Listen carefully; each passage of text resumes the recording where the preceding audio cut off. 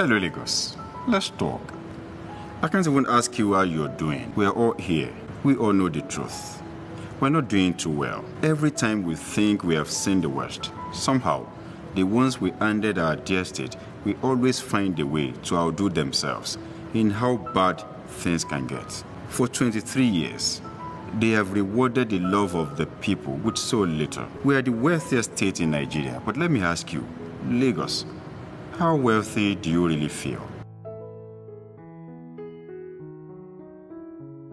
Can you imagine another four years of no real solution to waking up at 4 a.m. every day because of that awful traffic across Lagos metropolis? Or four more years of being scared to stop at the traffic lights cause of traffic robbers. I don't think we can continue with another four years of two million of our children still out of school. My name is Dr. Abdulaziz Olajide Adediran, Jandor, and I'm running for the office of Governor of Lagos State under the People's Democratic Party, the PDP. Jafwenku, Jafwentoe.